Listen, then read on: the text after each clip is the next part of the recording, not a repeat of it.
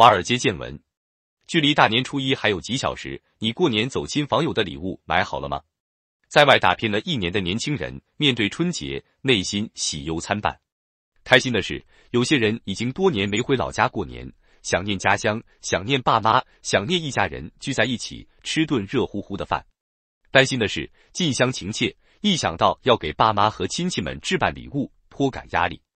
给家人亲戚送礼不是一件容易的事，不仅钱包被掏空，还要费尽心思好好准备一番。年前走亲戚花了一千五买年货的话题登上微博热搜，有网友分享自己结婚第一年给各家亲戚准备的年货红包加起来花费近万元，再扣除从亲戚手里收到的红包金额，倒亏一千五百元左右。评论区里，多数网友认为走亲戚买年货。只花一千五百元，其实并不算多。过年花费数万，花去一个月工资的大有人在。随着年龄增长，年轻人逐渐发现自己不仅需要给父母送礼，还需要代表父母给亲戚送礼。而过年如何送礼，实在是一门学问。太贵重或太实在都不是最佳答案。亲戚的亲疏远近和家族地位也会影响礼物的选择。更多时候，送出去的礼不仅可能面临没送到点子上被对方闲置的问题，还可能会被亲戚与同辈送的礼进行比较。春节在中国人心中的地位不可撼动，在这样的节日里，晚辈通过送礼表达心意、联络感情，无可厚非。只是送礼不该成为人情枷锁和形式主义，互相之间的沟通、理解和体谅才是最好的方式。烧钱烧脑，年轻人难逃过年送礼。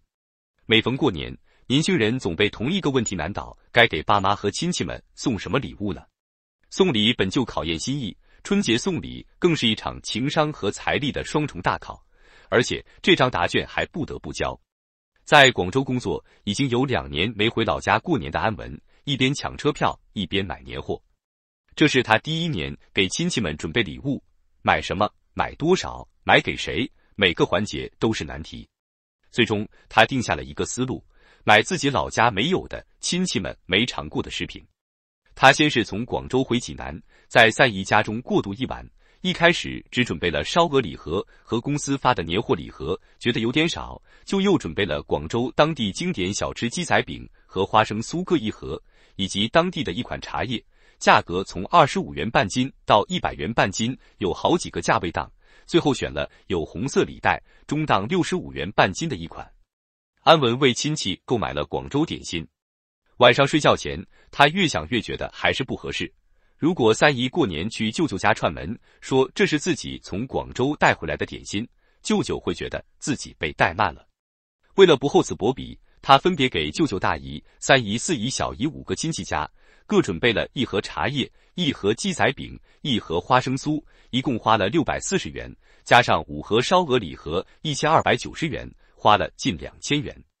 路上行李太多不方便，他先是将烧鹅礼盒寄回老家，又在行李箱里装好了五盒茶叶、五盒点心，怕压碎，只能提在手里。回老家的动车上，像我这样大包小包人肉将这些礼物背回去的年轻人还有不少。安文称。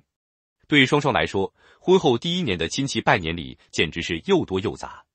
他形容自己从婚前只顾自己美美美的小辈，变成了过年送送送的卑微大人，买礼物的难度和花销几乎是指数级增长。在妈妈的指导下，他列出了一份 Excel 表格：舅舅、大姨、二姨、外婆四家，小外婆和两个小舅舅三家，每家一条硬中华加两瓶海之蓝，外加一箱牛奶，花费五千零六十八元。双双爱人那一边也同样要支出五千多元，加起来花费过万。婚后回老家过春节，经济压力不小。双双解释，一方面是每年过年都要买礼物，每家送一点，加起来花销就很多；另一方面，自己只有过年才回老家，买的东西还不能特别便宜，不然送不出手。以前年终奖都用来旅行或置办大件电子产品，今年的年终奖则被双双留出来给两边亲戚送礼，以及给两边爸妈包红包。此外，还要预留一部分资金给亲戚家的孩子们包压岁钱。从工作第一年就开始给长辈送礼的慕瑶，更是深知送礼的难度。这些年，他甚至总结出了一套送礼的方法论。他一般会按照亲戚关系的亲疏远近、亲戚的家族地位、辈分高低送礼。家中老人去世后，家族的新一代话事人地位最高，每年要送的礼会相对重一些。平时走动频繁的亲戚的礼会重于一般亲戚的礼，一些曾经断绝来往后又开始来往的亲戚礼会更轻。长辈之外，平辈之间几乎不送礼。平辈有了下一代，上门拜年则需要发红包。由于近几年一些长辈去了外地儿女家，慕瑶现在只会准备二舅一家的礼物，基本是两瓶五粮液加阿胶或者人参，再拎一箱牛奶、一盒水果，花费在三千元左右。因为二舅喜欢喝酒，我的表哥们收入比我高，他们还会专门收年头很长的老酒送礼。这些年轻人的送礼花销并不算特例。据 CBN Data 数据显示。大众购买新年礼物的预算集中在三千至四千元，同比上涨百分之十。其中，月收入在一万以下的消费者，新年送礼支出占到月收入的百分之四十以上，为送礼一掷千金。过年送礼难在哪？临近年关，过年送礼太难了。过年送礼难倒年轻人等话题，在社交平台上有数千万的浏览量，不少网友在评论区互相诉苦和支招。过年送礼为什么这么难？长辈们不习惯表达，与年轻人的生活方式也有差异。送礼没有标准答案，就很难送到心坎上。如果送的太高端，面子有了，但不一定实用，反而容易造成压力；如果送的太实用，容易和别人送的重复，体现不出心意。将来对此深有体会。他此前给姥姥买过一条羊绒围巾，后来发现他平时还是喜欢戴头巾，方便干活。围巾只在过年围了一次就被闲置了。此外，他还给大姨二姨们送过按摩仪、护肤套装等，但后来从妈妈口中得知，按摩仪因为不会用被阿姨转送别人了。平时他们也没有护肤习惯，护肤品一直在家里吃灰。礼物选不好，送礼和收礼的人两头难受。将来感叹，不能按照我们在外面工作的价值体系去买礼物，而是要回到他们的系统里。如果礼物超出他们生活的场景，反而成了负担。送礼伤脑筋。还因为送礼一般有来有往，但礼物包含感情，无法简单计算价值高低。而有些人会在送礼中掺杂攀比性和功利性，这样容易让送礼变味，变成一种人情债。双双听妈妈提起，前年表妹结婚，给亲戚们送的礼不如表哥早几年结婚时送的重，亲戚们对比之后颇有微词，于是提醒他准备的礼不能比妹妹家的差。同时，因为老家的亲戚会觉得他在大城市打拼，礼物买轻了，不仅失了面子，也是在外面混得不好的表现。将来的姥姥则会将前来拜年的晚辈进行排序，然后将他们送的礼物以家庭为单位放在隔壁房间，等到客人都走后，再和儿子商量，根据各家送礼的多少进行回礼，谁家送的多，回礼也要多送一点；谁家今年的礼物比去年少，那就少回一点。为了避免尴尬。慕瑶说，会在给亲戚们送礼时保留价签，或送能在网上直接查到价格或品牌的礼物。同时，价钱差不多的礼物，买盒子大的才不会显得小气。这样的送礼环节又虚又难熬。常年在外工作的雷雷解释，虚的部分是礼节繁琐，但不得不做。礼物工具属性强，一件礼物可能会流转很多家。难熬的部分是，我过年过节想着亲戚们。但亲戚们好像几乎没人对我爸妈这样上心。为了送出人类高质量礼物，送礼难的年轻人开始上网搜索答案。不料，焦虑的送礼人反倒给了各种种草和测评博主恰饭的机会。据 CBN Data 数据显示，短视频平台博主的种草测评对新年礼购买的影响巨大。百分之七十四的人偏好在抖音等短视频平台收集信息。博主和品牌借过年送礼营销，几乎每一年都会出现新的送礼风向，带火一个新的送礼品类。慕瑶举例，近两年越来越多人重视健康，保健品行业也开始借助过年送礼进行宣传。从前两年的新西兰蜂蜜，到去年的超级食物，再到今年的磷虾油，价格也越来越高。在各类商家和博主的营销下，送礼这件事更加卷了。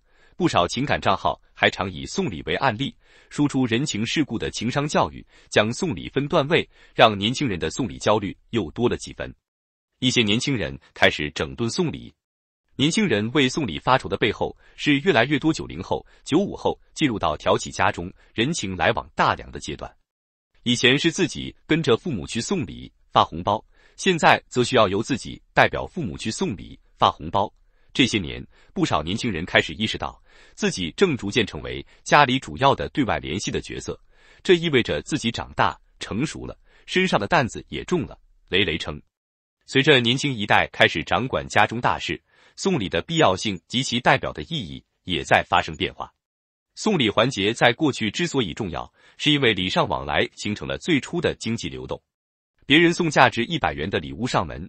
自家需要按照一百一十元的标准，甚至更高价的礼物还回去，这中间就产生了投资回报。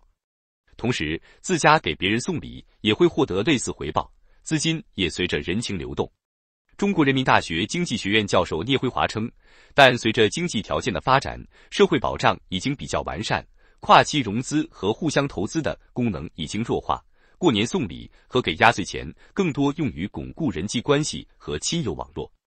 到如今，随着城市化的发展，不少年轻人远离家乡，不与父母同住，已经逐渐脱离熟人社会的圈子，建立独立的个体岛屿。